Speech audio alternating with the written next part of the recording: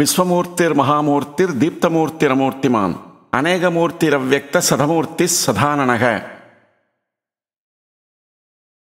அண்டம் தன்னை உடலில் கொண்ட பெரியதான தோற்றமாம். காண ஒளிரும் தூலமாம் காணாதிருக்கும் சூக்குமம். தோற்றம் கொண்ட தோற்றமாம் தோன்றா நிற்கும் தொன்மையாம். நூறின் மடங்கில் தோன்றுவான் பன்முகத்தை காட்டுவான். விஸ்வமூர்த்திர் உலகமே திருமேனியாக உள்ளவர். மகாமூர்த்தி. ஆதிசேஷன் மேல் பள்ளி கொண்டிருக்கும் பெரிய உருவமுடையவர். தீப்தமூர்த்தி. ஞானமயமாக பிரகாசிக்கும் ரூபமுள்ளவர். தம் இச்சையால் ஒளி உருக்கொண்டிருப்பவர்.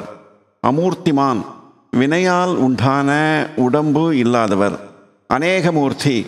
அவதாரங்களில் ஸ்வேச்சையாக பல தேகங்களை எடுத்திருப்பவர்.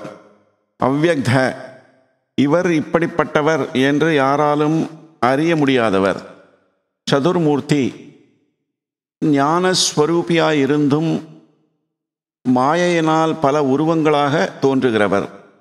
சதானனக பல உருவங்கள் இருப்பதனாலேயே பல முகங்களை உடையவர்.